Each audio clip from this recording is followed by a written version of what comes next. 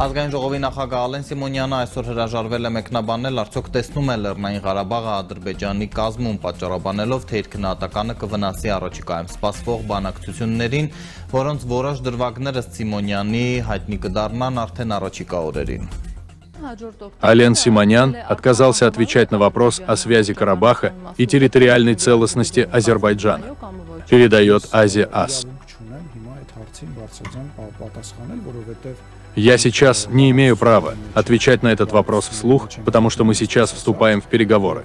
Об этом в эфире Азатутюн ТВ заявил председатель Национального собрания Армения Ален Симонян, отвечая на вопрос о том, считает ли Арцах частью целостности Азербайджана. Позиция спикера парламента страны с парламентским правлением в такой конкретной постановке вопроса и проведение переговоров могут повлиять на содержание переговоров.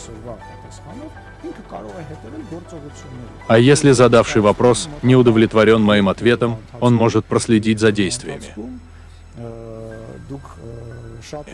Ни одна власть не сделала для Арцаха столько, сколько гражданский договор после прихода к власти. Это факт.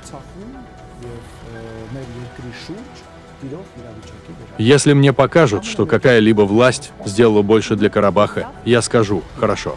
Милостиво сказал Симонян. Таким образом, нерешительность Симоняна в четком формулировании позиции говорит о противоречиях с позицией премьер-министра Никола Пашиняна. Напомним, что Пашинян в свое время четко сформулировал позицию «Арцах – это Армения и точка».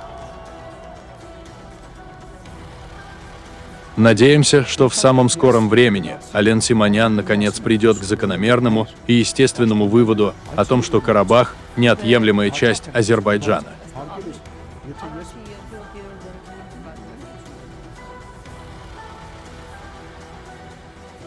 Что думаете вы? Пишите в комментариях. Спасибо за просмотр.